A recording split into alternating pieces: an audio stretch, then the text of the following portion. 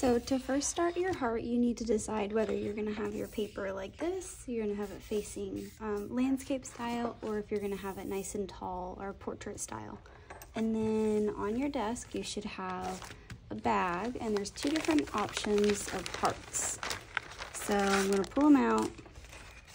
There's obviously this heart shape um, fits this way, but you also have a tall one like this that fits portrait style. So it's really up to you. You can decide whichever one you want. I'm gonna go ahead and do this tall one and trace it with a pencil.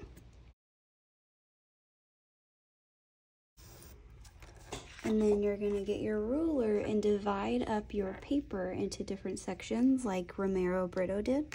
So um, you can either have your lines go all the way across every single time, or you can just go, I'm gonna do this one all the way across. Or you can go from the outside just to the edge of the heart and that's it. It's totally up to you. Um, don't do too many lines, otherwise it's gonna take you forever to finish.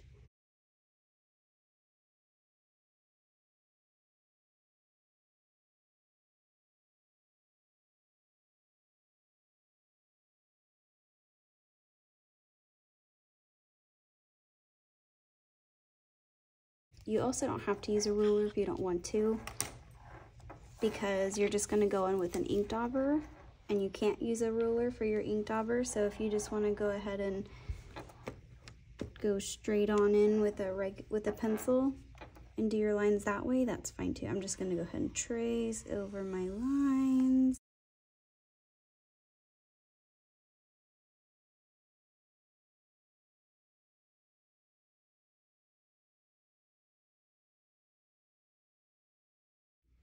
Okay, and before you start painting, you need to make sure that all of the ink is dry, okay? Because if it's wet, like I said, all of your paint is gonna mix together.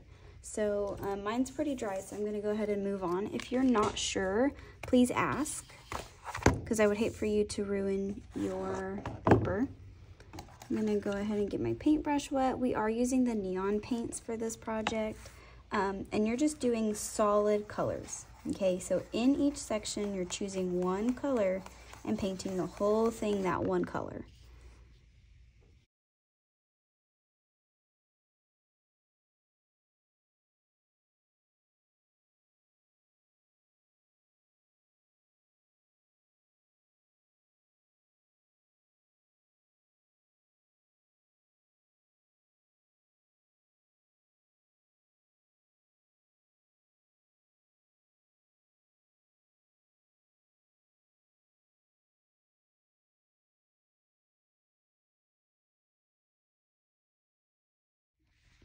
And once you have painted in a solid color in each section, I want you to be done for the day. We will finish adding designs next week, but I want to make sure our um, papers are nice and dry. So don't worry about doing anything else. Take this to the drying rack and um, we'll finish up next week.